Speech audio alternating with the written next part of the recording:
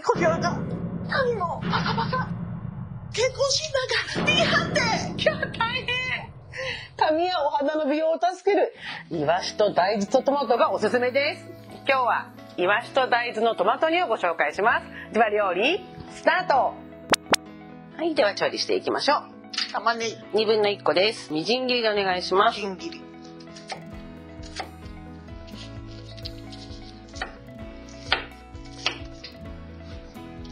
にんにくはい2分の1かけです。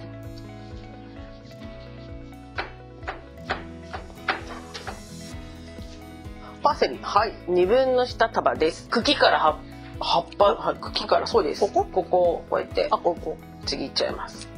こちらはねカレーとか作る時とか冷凍とかでも取っといてもらって一緒に煮込むと臭みが飛びますね。今日はこちらの葉の部分だけ使っていきます。はいみじん切りでお願いします縦やったら横やって横やったら縦やってみたいな。ビタミンとかすごい多いんですよ。あそうなんですそうなんです。ビタミン。お肌。お肌に。色でせっかくこうやってみじん切りにしていただいたので最後にちょっと飾りでも使おうかなと思うので入れる時に少しだけ残してもらいます。それはまたその時お声掛けしますね。ではですねイワシです。イワシ。はい今日はもう3枚におろしていただいてあるやつですね。両面に塩コショウ振っていきます。では2人前なので4尾分で8枚あります。はい。一人。四枚。なんかね意外とちっちゃいからすぐ食べれちゃうんですよね。ねそうですね。うんうん。ペロリと。やっぱり下味はねつけた方が他の料理と味が馴染むので。薄力粉ですね。ペロリキコはい。今日は全部で小さじ1分になりますので薄めでつけていただければ。両面？はい両面です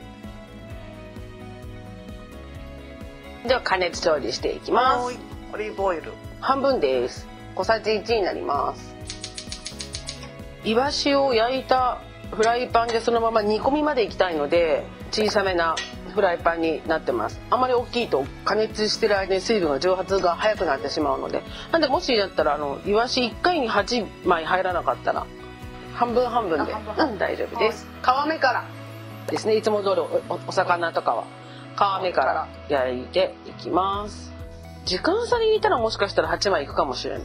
縮むので縮んでいくのでイワシが。はい。ちょっと詰めて横2枚で上下1枚ずつでも全然大丈夫です。先に入れたやつからもうちょいじゃないかな、あでもいいですね。その白くなってきたやつから。う。んはい。ひっくり返しましょう。うんうん。美味しそうです皮目から焼いてきて両脇が白くなってきたら5ミリぐらいひっくり返しても大丈夫なんですけど、すぐひっくり返しちゃうと身の方ばっかり焼くことになってしまって油が抜けておー硬くなっちゃうので。はいそしたら先に入れたやつからも出していきます。はい。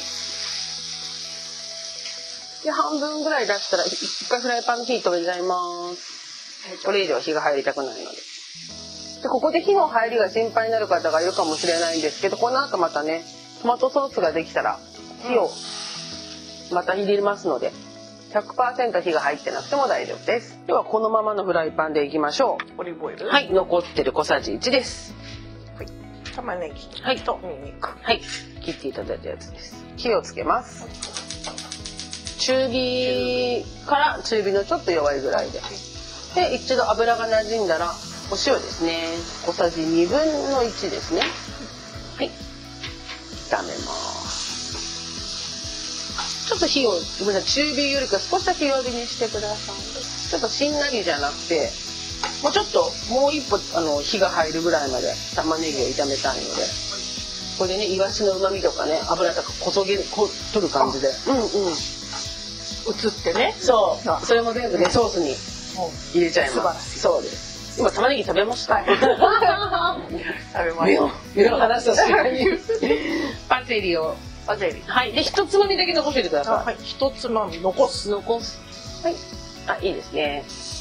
でここでパセリを炒めます。しっかりここで加熱することによっていわゆるあのパセリのパセリ臭っていうか苦味っていうかが飛びます。いいですね。しんなりしてきたらトマト缶。はい。2分の1缶です。200g になります。これはカットトマト？そうです。今日はカットトマトですね。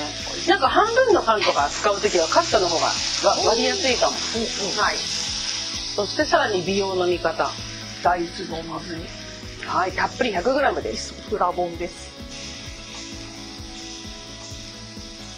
結構具沢山なので中火と弱火の間ぐらいに火を落としてください。はい。はい。そしたら蓋をして5分ほど煮込んでいきます。はい、なりました。オープン。おおじゃあ最後仕上げましょう。お塩、はい。小さじ4分の1です。トマトケチャップ。はい。小さじ1です。ここら辺甘いのが好きな方はもっと入れたりとか。なかったら入れなくても大丈夫ですちょっとコク出しになります。そうしましたらですねもう先に焼けているイワシがあるのでおい、軽く戻して温めます。はい。蓋をして。はい。火を切ります。で余熱で温める感じで。はいでは盛り付けましょう。おい。1人2尾なので4枚ですね。4枚。これもしあの煮てる間とかにお魚が崩れちゃったとかしてもよくて。逆にもうそこまでいったら崩しちゃって。うんパンにのせてもいいしパスタソースとかにしてもいいしなんかいろいろアレンジはできるので。